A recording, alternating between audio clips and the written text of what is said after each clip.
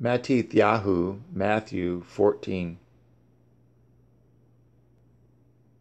At that time, Herod the Tetrarch hath heard of the fame of Yahusha, and said unto his servants, This is Yahuchanan the Immerser. He is risen from the dead, and therefore mighty works do show forth themselves in him. For Herod had laid hold on Yahuchanan and bound him and put him in prison for Herodias' sake, his brother Philip's woman. For Yahuchanan said unto him, It is not lawful for you to have her. And when he would have put him to death, he feared the multitude, because they counted him as a prophet. But when Herod's birthday was kept, the daughter of Herodias danced before them and pleased Herod, whereupon he promised with an oath to give her whatsoever she would ask. And she said, being before instructed of her mother, rather, and she, being before instructed of her mother, said, Give me here Yahuchanan Immerser's head in a charger. And the king was sorry, nevertheless, for the oath's sake, and them which sat with him to eat, he commanded it to be given her.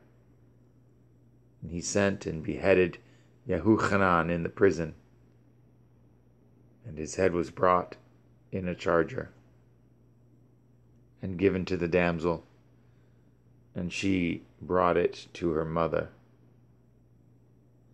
And his Talmudim came and took up the body and buried it, and went and told Yahusha. When Yahusha heard of it, he departed thence by ship into a desert place apart. And when the people had heard thereof, they followed him on foot out of the cities. And Yahusha went forth and saw a great multitude, and was moved with compassion toward them, and he healed their sick.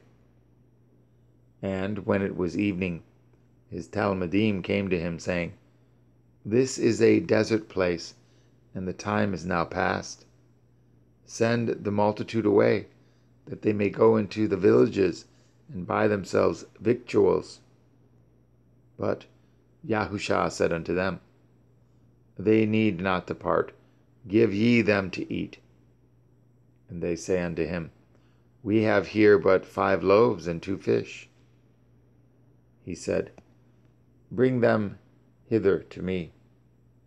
And he commanded the multitude to sit down on the grass, and took the five loaves and the two fish, and looking up to heaven, he blessed and broke and gave the loaves to his Talmudim, and the Talmudim to the multitude.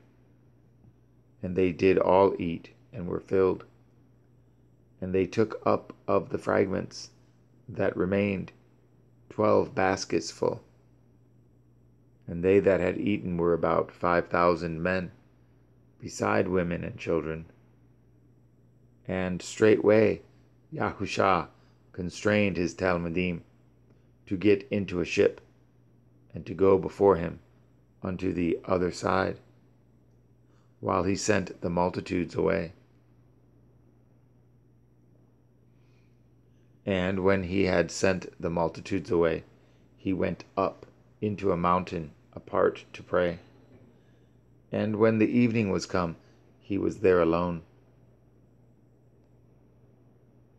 But the ship was now in the midst of the sea, tossed with waves, for the wind was contrary. And in the fourth watch of the night, Yahusha went unto them, walking on the sea. And when the Talmudim saw him walking on the sea, they were troubled, saying, It is a Ruach. And they cried out for fear. But straightway Yahusha spoke unto them, saying, Be of good cheer, it is I. Be not afraid. And Kepha answered him and said, Adonai, if it be you, Bid me come unto you on the water. And he said, Come. And when Kepha was come down out of the ship, he walked on the water to go to Yahusha. But when he saw the wind boisterous, he was afraid, and beginning to sink, he cried, saying, Adonai, save me!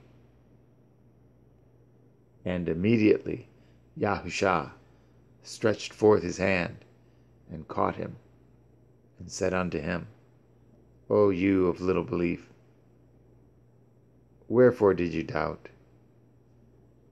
And when they were come into the ship, the wind ceased. Then they that were in the ship came and worshipped him, saying, Of a truth, you are the Son of Elohim. And when they were gone over, they came into the land of Kinneroth, rather, Kinneroth. And when the men of that place had knowledge of him, they sent out into all that country round about, and brought unto him eth all that were diseased, and besought him that they might only touch the tzitzit of his garment, and as many as touched were made perfectly whole.